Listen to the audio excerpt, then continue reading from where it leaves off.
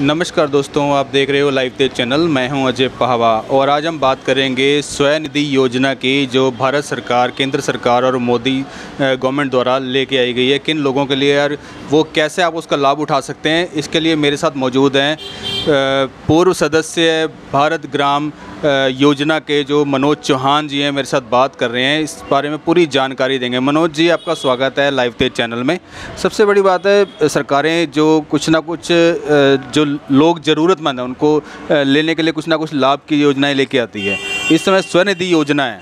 वो कैसे लोग उसका लाभ उठा सकते हैं और वो कौन कौन लाभ उठा सकते हैं? पहले तो आपका मैं लाइव तेज चैनल का बहुत बहुत धन्यवाद करता हूँ।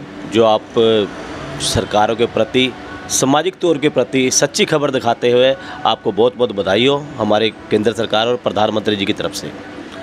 जो सब निधि योजना, ये हमारे आदरणीय प्रधान सेवक प्रधान सेवक, भारत के प्रधान सेवक, आदरणीय प्रधानमंत्री श्री नरेंद्र मोदी जी द्वारा भारत की जनता के लिए लॉकडाउन के अंदर एक जुलाई से 2020 के अंदर शुरू की थी कि लॉकडाउन के अंदर वो बहुत बड़ा कहर बना मचा हुआ था पूरे विश्व के अंदर मचा था।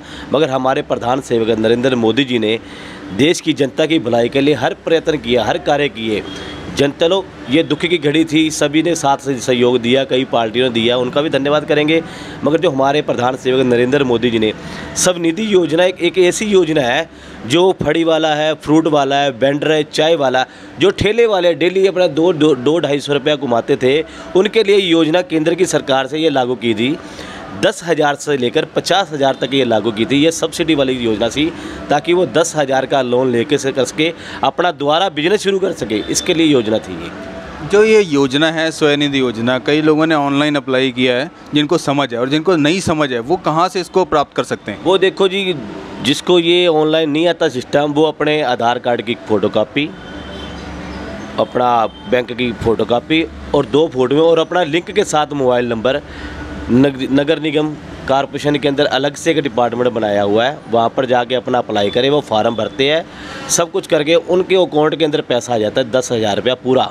और उनको मोड़ना पड़ता है छियानवे सौ रुपया, यानी कि चार सौ रुपया भारत सरकार की तरफ़ से उन्हें लोगों ज़रूरतमंदों को वो चार सौ सब्सिडी सरकार दे रही है। इनफैक्ट अगर ये किसी ने ले लिया है ये लोन एक मदद है सरकार की तरफ़ से और इसकी किस्तें भी छोटी हैं जो छोटा वेंडर है उसके लिए। आठ सौ रुपये किस्त है जी। और और इसको वापसी एक साल के अंदर ही करना है? एक साल के अंदर करना जी। अगर कोई दस हज़ार रुपये एक साल के अंदर करता है तो उसको तुरंत फ़ोन आ जाता है भी आपका बहुत बहुत धन्यवाद आपने केंद्र सरकार की स्कीम का लाभ उठाया। और हमारे प्रधानमंत्री नरेंद्र मोदी जी के साथ खड़े होकर देश के लिए आपने ये कार्य का योगदान दिया और दस हज़ार के बाद उसको बीस हज़ार मिलते हैं और बीस हज़ार के बाद उसको तीसरी किस्त जो पचास हज़ार मिलती है, वो सब्सिडी के तौर पे मिलती है ताकि आम नागरिक के लिए, जो अभी तक कोरोना काल के लिए, अभी तक पूरे लोग ने संतुष्ट यानी कि नहीं हुए, उनको कुछ नहीं मिला तो उनसे मैं निवेदन करूँगा अभी भारत सरकार की काफ़ी स्कीमें चल रही है। हमारे नरेंद्र जी, भाई मोदी जी, भारत सरकार के हर जनता के लिए, हर समाज के लोगों के लिए वो प्रयत्नशील है कार्य करने के लिए और वो चाहते हैं कि हमारा देश, भारत देश है जो सर्वश्रेष्ठ बने, आत्मनिर्भर बने। आत्मनिर्भर का मतलब है अपने आप कर्ता कार्य कर बने। सरकारें लोन देती है, सब कुछ देती है, सरकारें स्कीमें देती है, लेने वाला चाहिए। मगर कहाँ पर कई पॉलिसियाँ ऐसी बन जाती है, सरकारें एंटी होती है, वो केंद्र सरकार की स्कीमों को लागू करने में देरी करती है। जैसे अभी देश की सारी स्कीम्स हैं जो प्रेजेंट गवर्नमेंट की हैं, केंद्र की, वो सारी प्रदेशों में पहुँच चुकी हैं। और इसमें जो प्रदेश होते हैं, उनकी खुद की जिम्मेवारी होती है, जो केंद्र सरकार की स्कीमें हैं, वो आम जनता तक पहुँचे और आम जनता उसका लाभ उठा सकें। लेकिन क्या होता है, वो स्कीमें जो होती हैं, किताबों में बंद होकर रह जाती हैं। स्टेट में अगर पहुँचती भी हैं तो लोगों तक पहुँचती ही नहीं है। जब तक पहुँचती हैं तो वो चीज़ें ख़त्म हो जाती हैं स्कीमें बदल जाती हैं। तो इस चीज़ को कैसे देखते हैं आप? इसमें प्रशासन का कितना बड़ा योगदान जो रहता है जिला स्तर पर देखो जी, आज नौ साल हो गए हमारे प्रधान सेवक, आदरणीय प्रधान नरेंद्र मोदी जी ने। सत्तर साल सरकार किसी पार्टी की भी रही है, मैं नाम नहीं लूँगा, क्या मैं, हम पॉलिटिशियन नहीं करते, हमारे प्रधानमंत्री के पॉलिटिशियन मत करो, देश की बात करो, भारत की जनता की बात करो। तो सत्तर साल उन्होंने राज किया, जो मर्ज़ी किया, कभी, अभी टू गया, अभी आपने देखा वर्ल्ड के सभी प्रधानमंत्री, राष्ट्रपति सभी आए हैं। तो ये हमारे भारत के मान सम्मान की बात है। तो ऐसे ही मैं सभी राज्यों के मुख्यमंत्री और सभी प्रशासन अधिकारियों से मैं निवेदन करूँगा, भी केंद्र की सरकार जो भी गरीबों के लिए, किसी के लिए भी आ रही है, बिज़नेस के लिए आ रही है, गरीबों के फड़ी के लिए आ रही है, किसी के लिए आ रही है, उनको लागू तुरंत करके जनता के लिए ज़रूरत के जिसको लोड है, उनको दीजिए। ताकि भेदभाव वाला मत कीजिए, भी मेरी सरकार यहाँ मैंने उसकी लागू नहीं करनी। तो ये जनता का पैसा आ रहा है, जनता की भलाई के लिए आ रहा है तो वो प्रशासन मिलके, सरकारें मिलके, उन जनता तक पहुँचाए स्कीमें वो। ये जो स्कीम है, स्वनिधि स्कीम है, इसमें जैसे अगर अभी किसी ने लाभ उठाना है तो कईयों को जैसे पता नहीं लगता है, अभी मैं ऑनलाइन अगर कोई लाभ उठाना चाहता है, नहीं जाना चाहता कॉर्पोरेशन उसका दो रुपया समय नहीं निकाल सकता है तो अगर ऑनलाइन वो लेना चाहता है, ऑनलाइन कौन सी ऐसी वेबसाइट है? ऑनलाइन हमारी वेबसाइट आई है। ये मैं देखो जी, मैंने मेरे पास सभी है। ये ये यहाँ पर P M Svanidhi dot M H U A dot G O V dot in. इस पर जाके वो ऑनलाइन अप्लाई कर सकता है। अगर वो मोबाइल दूसरा उसके बटन वाला मोबाइल है तो यहाँ पर सी एस सी सेंटर है, कॉमन सर्विस सेंटर है। वो बीस रुपये लेते हैं जी, वो अप्लाई कर देते हैं उनकी। वहाँ पर जाके अप्लाई करा सकते हैं। मगर हाँ मैं बार बार यही कहूँगा, भी अप्लाई तभी कीजिए जे आपका मोबाइल आधार कार्ड के साथ लिंक है। तो तो तभी आपका पैसा अकाउंट में आपको कॉल कैसे आएगा? आपका आधार कार्ड लिंक नहीं है मोबाइल के साथ। इसमें एक चीज़ और है जैसे लोगों में थोड़ा सा भ्रम है अकाउंट कोई भी हो या जन धन खाता ही होना ज़रूरी है। कोई अकाउंट हो इसमें कोई हाँ ये चीज़ ज़रूरी है वो गरीब का खाता उसको पता वेंडर का कितना अकाउंट होगा? पाँच हज़ार दस हज़ार बीस हज़ार वो तो शाम को लेता है पैसे अगर कितनी कमाई होगी पैंतीस सौ बनाया उसने कहना पैंतीस सौ बढ़ा जी मेरा तीन हज़ार का सुबह सामान आएगा पाँच सौ रुपये बच्चों के लिए बच्चे की फ़ीस है सब कुछ है। तो ये इस, इसमें कोई दिक्कत वाली बात नहीं है वो अप्लाई करे।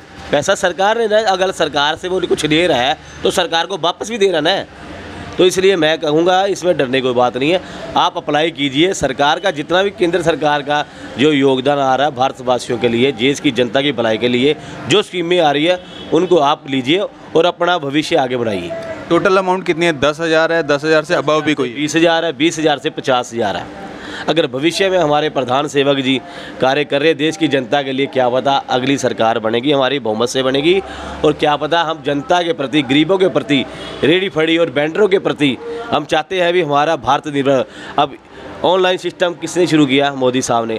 नहीं तो लोग कहते यार पैसे कैसे लेके जाओ अब ऑनलाइन सिस्टम हो रहा है। घर बैठे बच्चों के लिए, बच्चा यहाँ पंजाब में बैठा है, यूपी वाले परिवार बैठे हैं। तो ऑनलाइन उसको पैसा कैसे पहुँच रहा है?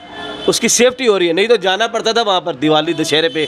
मैं आऊँगा, दिवाली पे कुछ लेकर आऊँगा। नहीं, ये पैसा मैंने डाल दिया है। ये हमारे आदरणीय प्रधानमंत्री जी की देन है। भारत की जनता के लिए भी घर बैठे पैसा कहीं भी पहुँच सकता है। तो ये मनोज चौहान थे जो केंद्र की सारी स्कीमों के बारे में जानकारी रखते हैं और इन्होंने कहा जो स्वनिधि योजना है, उसके लिए आपको डरने की ज़रूरत नहीं है। अगर आपको ऑनलाइन सिस्टम नहीं आता है तो आप नज़दीक के किसी भी कॉरपोरेशन ऑफ़िस में जा सकते हैं। वहाँ पे एक डिपार्टमेंट बना दिया गया है लोगों को डील करने के लिए, जिसमें आपको लोन की सुविधा मिलेगी। ये केंद्र की तरफ़ से लोन है, ना कि किसी स्टेट की तरफ़ से। ये आपको डायरेक्ट लोन आपके अकाउंट में आएगा। इसमें किसी के फ़ाइल चार्जेस नहीं है, कोई खर्चा नहीं है। आपको डायरेक्ट जो भी अमाउंट बोलेगी सरकार की तरफ़ से वो मिलेगा। और इसमें आपको कुछ डरने की ज़रूरत नहीं है डायरेक्ट आप जा सकते हैं ऑनलाइन भी अप्लाई कर सकते हैं। मनोज जी, एक पॉइंट और बताना चाहते हैं। हाँ जी। मैं प्रशासन से और सरकारें से निवेदन करूँगा, सभी सरकारें, ठीक है स्कीम हमारी लागू चला रही है, मगर जहाँ पर वो देखता हूँ भी पार्टीबाजी का काम हो रहा है। मैं सभी प्रशासन से निवेदन करूँगा डीसी साहब से निवेदन करूँगा, सभी जिलों के, सभी भारत के जहाँ पर डीसी है और प्रिंसिपल सेक्रेटरियों से निवेदन करूँगा भी जहाँ पर भी वेंडर स्कीम का या कोई योजना, केंद्र की सरकार उज्जवल योजना, कोई भी योजना चलती है तो आदरणीय प्रधानमंत्री जी की फ़ोटो ज़रूर होनी चाहिए क्यों देश की जनता के लिए हमारे आदरणीय प्रधानमंत्री नरेंद्र मोदी जी कार्य कर रहे हैं और उनकी फ़ोटो उस बैनरों से बोर्ड के ऊपर होना बहुत ज़रूरी है, ताकि उनको पता लगे भी केंद्र की स्कीम आई है, राज्य के साथ मिलकर काम हो रहा है। जय हिंद, जय भारत। केंद्र के स्कीमों का लाभ उठाएँ और ऐसे ही देखते रहें नई स्कीम के लिए और नई स्कीम की जानकारी के लिए आपके साथ फिर हाजिर होंगे। मेरे साथ मनोज चौहान जी दोबारा होंगे। लाइव तेज चैनल देखते रहिए।